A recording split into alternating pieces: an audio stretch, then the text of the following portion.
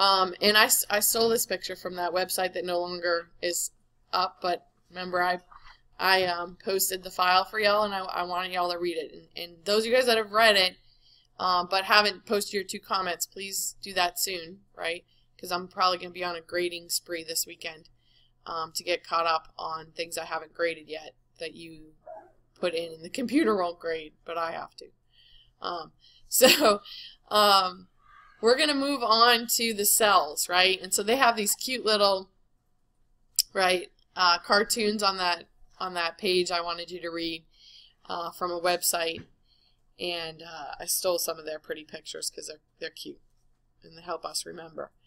Um, but if you've taken anatomy and physiology, uh, you've probably looked at stained red blood, uh, excuse me, stained white blood cells, right? And red blood cells, right? But all we care about in immunology is the white blood cells because they're part of your immune system. Uh, and you may have learned this cute little um, mnemonic, never let monkeys eat bananas. And that's to help you remember the five different classes that we look at under the microscope of white blood cells. Um, so neutrophils are the most abundant, which makes sense because remember when we have inflammation, they're going to be the ones we call to the scene. And these guys are really good killers. Part of the reason is that they have vesicles inside of them. They call them granules. And the reason why these guys are called neutrophils is because their granules are actually neutral staining. You don't usually see them in the cytoplasm. Uh, but their nucleus becomes multi-lobed, right? See how it's in pieces? Where most of the time the nucleus of a eukaryotic cell is this nice round looking thing. And they all stain purple, right? With the stain that we use, the Jensen stain, um, that's used for staining white blood cells. Um, it's a combination of, of stains uh, in that mixture. And they'll stain the, the nucleus will come out purple for all these cells. Um, the cytoplasm of these, depending on the stain, will look kind of orangey, right? But usually if you see a multi-lobe nucleus under the microscope, you're looking at a neutrophil because, again, they're the most abundant in normal blood. When you have inflammation, these numbers go up. And this is why doctors sometimes when you're sick, and machines do this now, I used to do this by hand, where we literally would take blood, spread it out on a microscope slide, stain it, look at these guys under the microscope, right? And now they have like apps on your computer, but I had, you know, uh, a little counter thing where I, like, you know those clicker things, right? But mine had five different buttons, and it would ding when I got to a 100 right? So I would count 100 cells. I would identify 100 cells, right? And then that would give me my percentage. Right now you can do it on a little app on your phone. And it, and, and it too will make a noise when you reach 100, right? Uh, but usually you're looking at it so you see. Um, I got so good it was almost like typing on a on a computer, right? I, I, I had my fingers on it and was clicking away as I was scanning under the microscope. Uh, but yeah, these numbers are going to change depending on what type of inf in infection you're dealing with, right? Especially with bacterial infection, when you have inflammation, neutrophils are going to go up, right? So are monocytes, because remember, um, these are called macrophages when they move into your tissue. These are the big eaters, right? So they're in your tissues, and more are going to come via the blood. When they're in your blood, they're called a monocyte, though. The second most abundant in your blood under normal conditions are lymphocytes. But we have three different types of lymphocytes. Anyone know the three different types of lymphocytes are actually abbreviated by letters? Right. T cells, right, which are divided into two main subsets, helper T cells and cytotoxic T cells we're going to talk about. These guys are part of your adaptive immune response, right? Lymphocytes are, are the add-on guys. And then natural killer cells fall into this category as well. But under the microscope with this stain, you can't differentiate these three different cells from one another. These guys are going to have a huge nucleus, nice round usually, and very light blue cytoplasm. And about the size of a red blood cell in comparison. Monocytes, as you can see, are going to be the next abundant, but you still have to kind of usually scan around for them because you're going to see 3 to 8 per 100 cells you look at. They're really large. Sometimes their nucleus, right, will get an indentation in it or even become horseshoe shaped like this. Notice neutrophil, eosinophil, basophil. These all fall into the category we call granulocytes because they're all named after the fact that they have vesicles inside them that stain. Granted, neutrophils are named after the fact that theirs neutrally stain, so they kind of blend in with the cytoplasm. Where eosinophils are named after the fact that theirs stain with the eosin dye in this mix. Eosin dye is a reddish dye, so they, it, they they're usually red to orange in color. Like you'll see all these little dots on the inside. And then also notice that their nucleus is multilobed for both for all of these, right? Neutrophils most often, right? Eosinophils and basophils. Always have that dis distortion where they say it's lobed. Eosinophils are usually pretty easy to find, right? Basophils are next to impossible to find in normal blood. Look at this. You might be lucky if you see one in a hundred. Half of one. I don't even know why they put that. It makes me laugh. Right? You're not going to find half of a cell. but, you know, um, this one is named, basophils are named after the fact that they stain with the basic dye. I can't remember which basic dye it is, but they'll be purple. And so the the nucleus is purple, their granules are purple. It looks like this purple granular mess, right?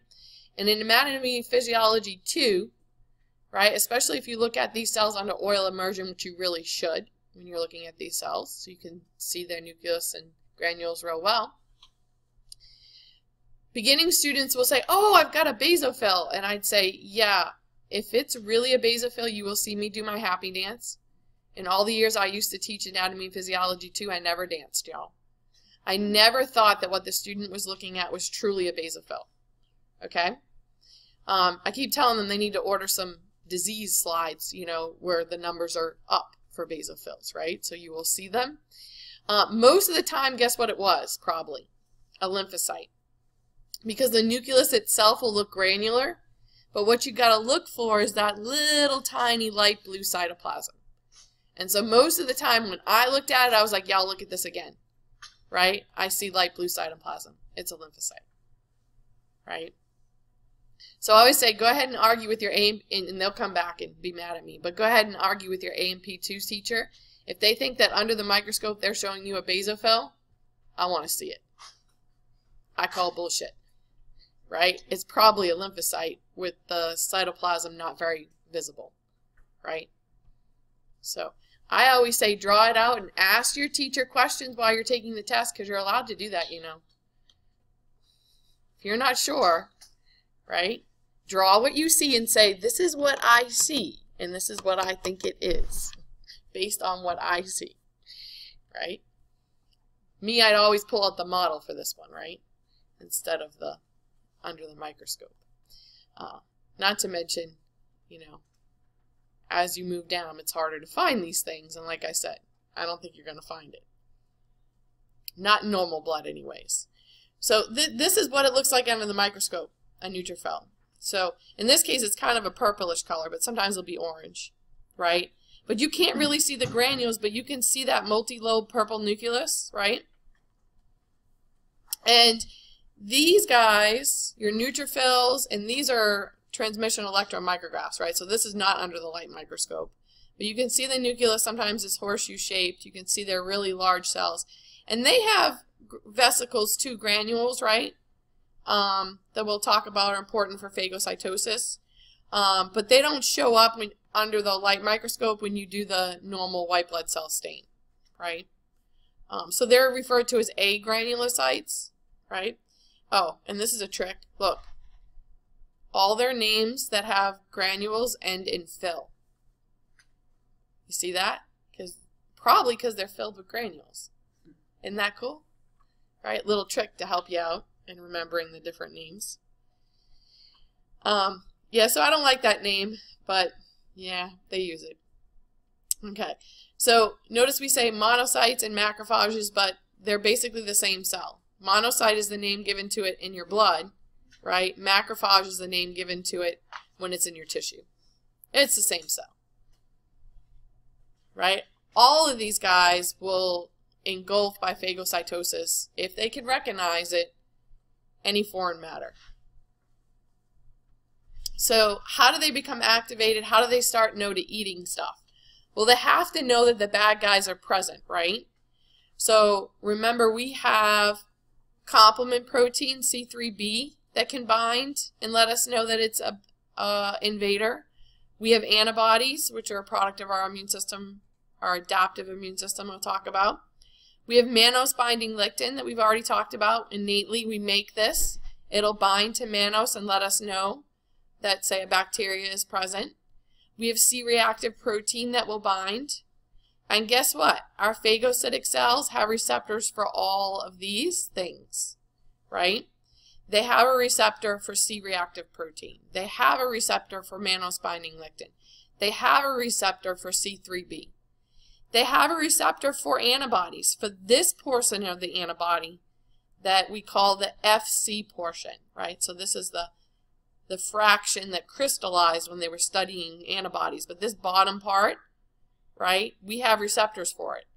So if there's a bacteria with any of these things stuck on it, and we call this process when we tag them for destruction what? Starts with an O opsonization, right? When they've been opsonized, right, by any one of these things, and helps the phagocytic cell attach to it, recognize it as being foreign, and it's literally going to engulf it and destroy it, right?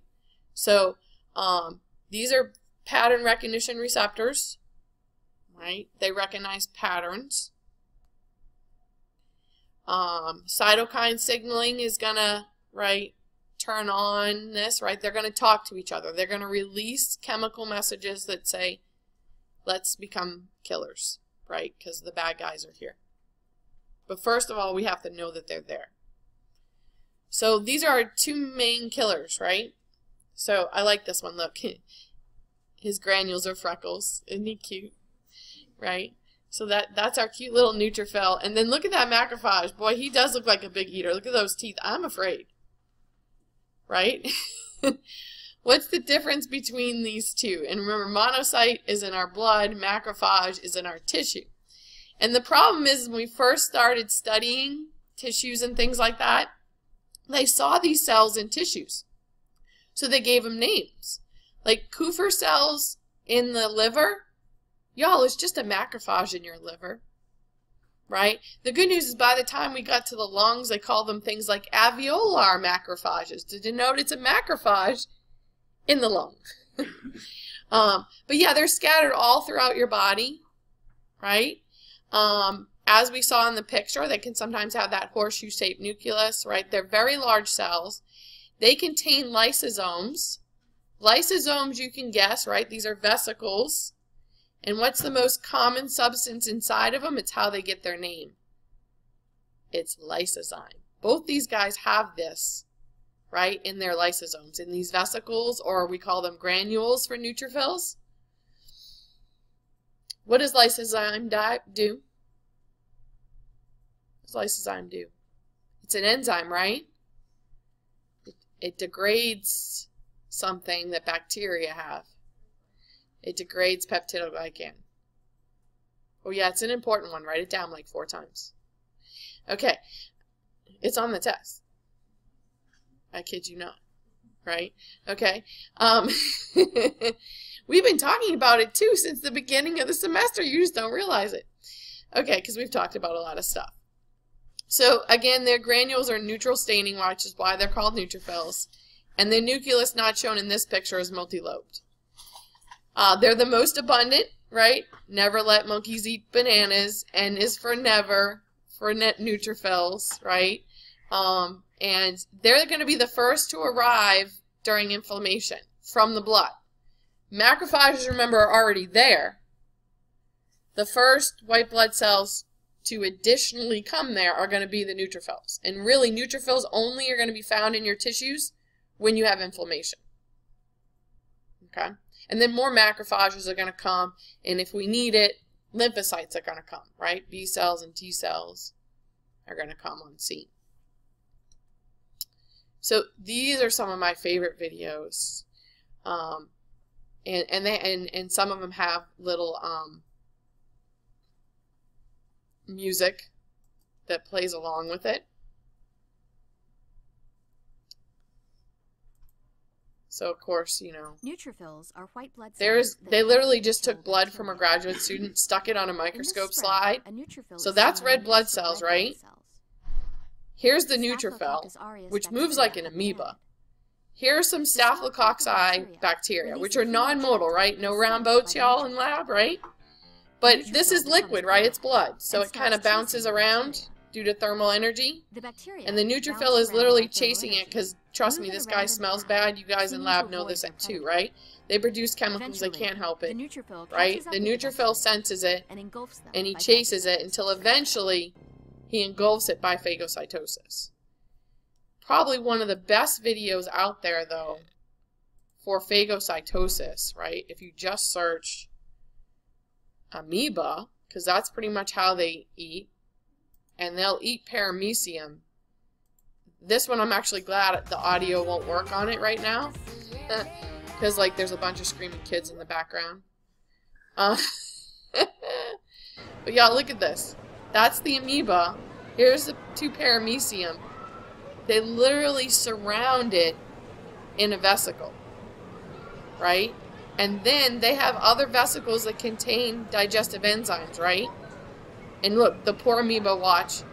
They realize they're trapped. They're like, oh crap, we're trying to get out of here. And they can't, right? They're stuck in this vesicle, right? They're membrane bound.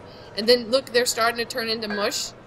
That's because the enzymes have been dumped on them and they're getting digested. So basically, you know, you're looking at the stomach of a an amoeba right? The same thing happens inside of our white blood cells. Well, these guys are cool too, but we don't have time for them.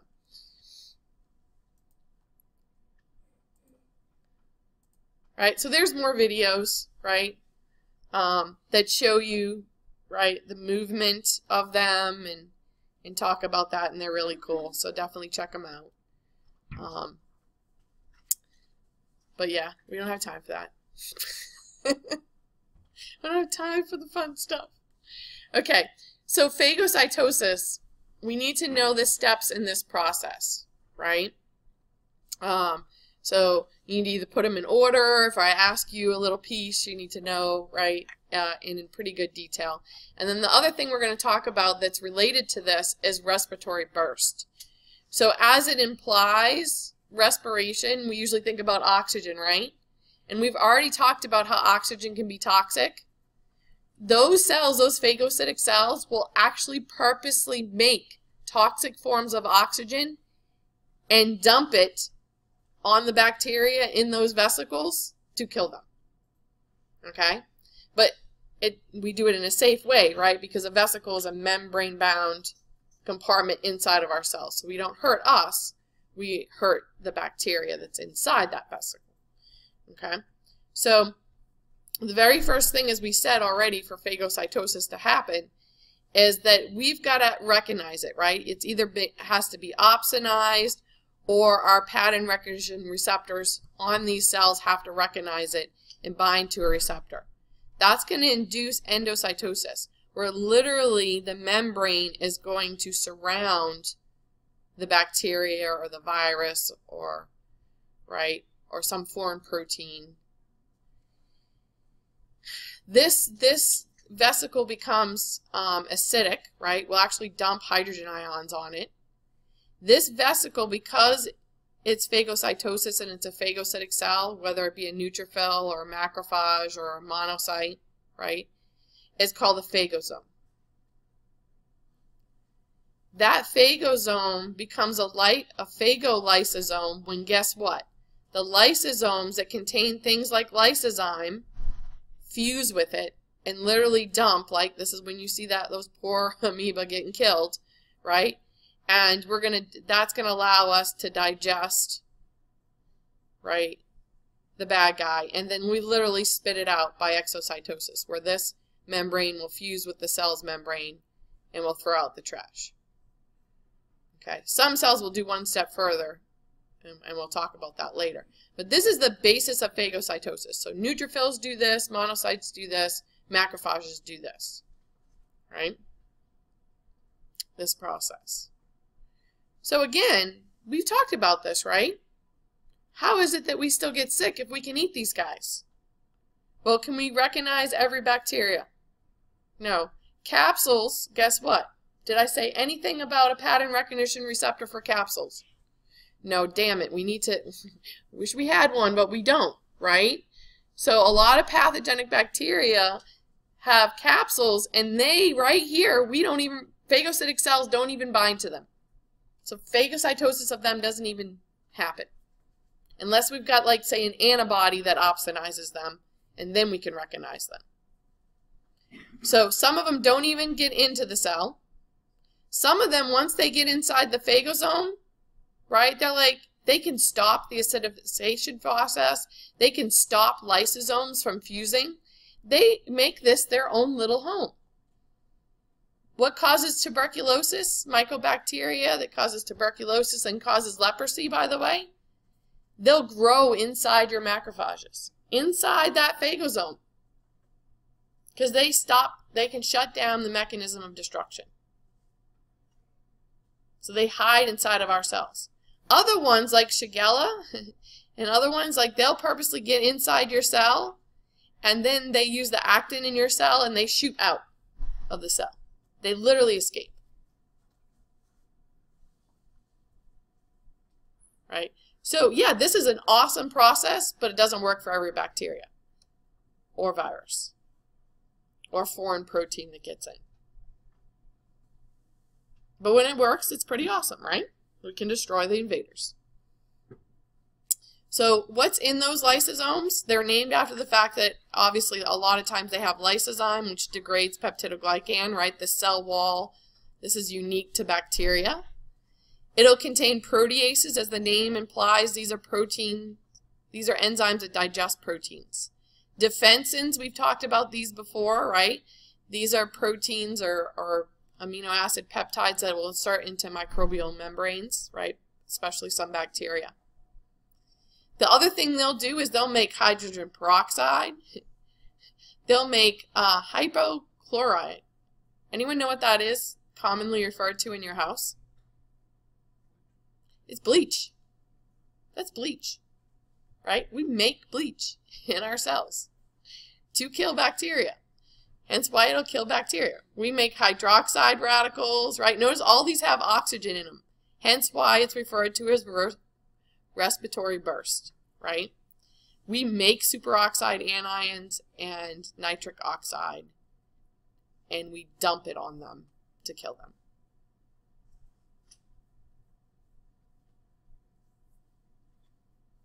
Because we're mean like that. Sometimes you're dealing with stuff that's too big for phagocytes to engulf, right? And that's when eosinophils, basophils, and basophils' close cousin, mast cells, which are in your tissues, right? Eosinophils and basophils we talked about being in your blood, right? Mast cells are found in your tissues. They're very similar to basophils. These guys have granules, right? instead of engulfing something, they instead release the contents of their granules into the area onto, say, the parasitic worm, right, or certain fungi. So they literally, in this process, of course, is called degranulation, right, because they're granules, right, and they're going to die in this process, right? So there's a mast cell that would be in your tissue, right? See all these round things, right? Other than the nucleus, these are granules packed full, right, of digestive enzymes, right? And so they're releasing them, in this case, onto a, who knows what. Looks like a bacteria to me. But there's those eosinophils I was talking about under the microscope. See the purple nucleus, but kind of reddish, right? And if you look real close, they're little round, right, vesicles. And then basophils, see how it, I said it's all purple? But you see how it's very granular looking? Okay. Mast cells are cousins to the basophils, right? This is a different stain, right? Um, otherwise, they would stain purple too. Uh, these are in your tissues. They also have granules that are similar to what's inside basophils. Basophils and mast cells are the ones that contain things like histamine. So in addition to killing what's nearby, they'll elicit inflammation, right? So look, I took all the words away, right? So you can look at the pictures and walk through, right, as you're studying and uh, see if you can remember the important steps of that process. So, um, I should have printed this one out for you guys.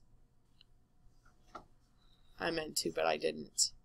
Um, but look at some of these I didn't label.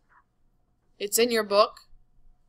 These are important receptors that we're going to talk about next time. Okay, so notice this red one is on all of these cells, right? So they, they've got this cell, but it's actually divided into, this represents a neutrophil, this represents a natural killer cell, one of your epithelial cells, uh, a macrophage or a dendritic cell, B cell, and T cells, right? So look in your book, right? Because if you write these things down and I start talking about these receptors, hopefully you remember them and I'll go over them. Okay, so natural killer cells, which falls into the category of lymphocytes, um, but they're not part of our adaptive immune response. Um,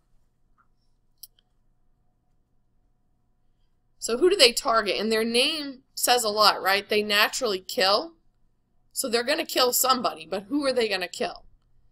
Um, they're very useful in that Unlike the T cells and the B cells that we're going to look at next time that literally have receptors for antigen, natural killer cells don't have specific receptors for specific antigens, right? So they definitely fall into the innate immune response. They will eliminate host cells, right, um, that have been invaded, right, that aren't displaying normal characteristics, right? So they're kind of your survey cells. They walk around and they survey your cells. They don't they don't kill by phagocytosis, right? Instead, they're going to dump again digestive enzymes, different things that are going to cause that cell to die. Right? So they release perforin, which pokes holes in the membrane. They're going to release granzymes, which induce apoptosis, um, cell suicide, right? And this won't elicit inflammation. And so they're also useful, right, for abnormal cells or, or cancerous cells. And I don't have the picture I want. Okay. Um, so the other thing they do and, how they can do this is remember our cells have receptors on their surface, right? So this receptor, notice, is found in all the cells. This is kind of like your cell's ID, right? They're called major histocompatibility. And we found out about these when we tried to do transplants for people, right? we tried to give them other people's organs. Well, the problem is, is that this kind of ID tag wasn't the same. And so the immune system couldn't, one, communicate with these cells, and natural killer cells saw these cells as foreign. Right? That's how they got their name. There's two classes. This is class one. It's found on all your cells.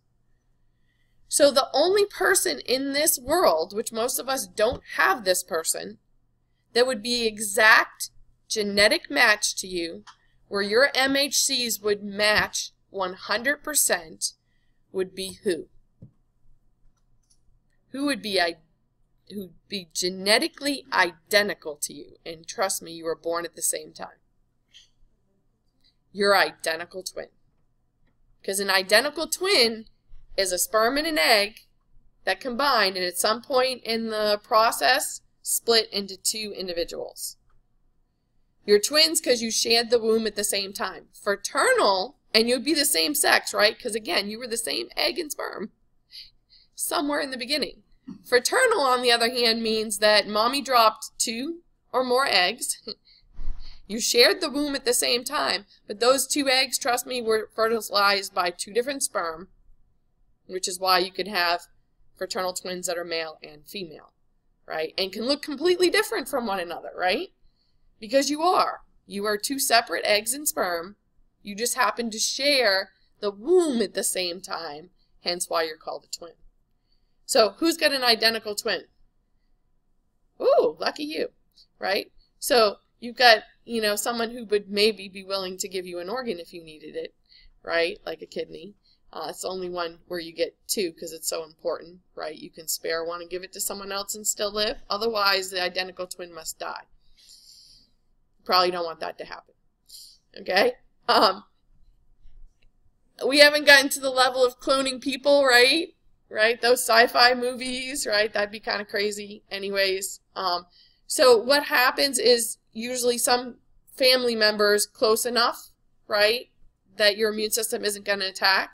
But people who get organ transports, and if we transplant an organ to you, you need it to live, right? We're not going to just do it to do it. okay? Um, you will be on immunosuppressant drugs for the rest of your life to keep your immune system from attacking that organ. You won't work in a daycare.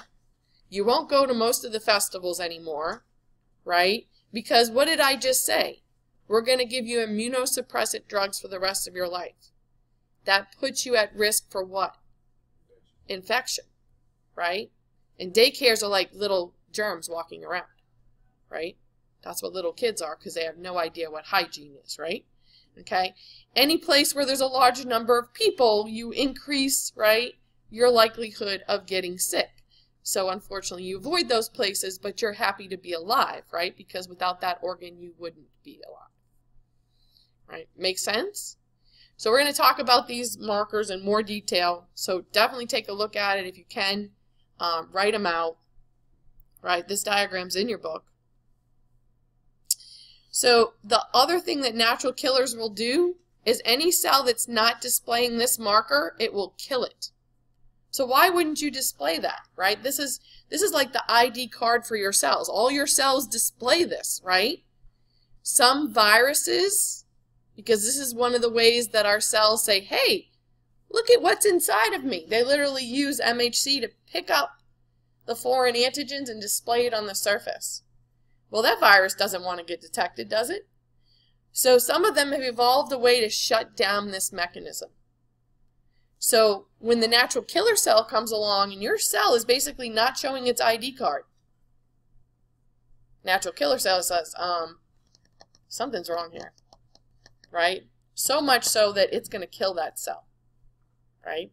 If that cell is not behaving normally, right, not presenting MHC class 1, right, or presenting things that are bad, that natural killer cell is going to kill it.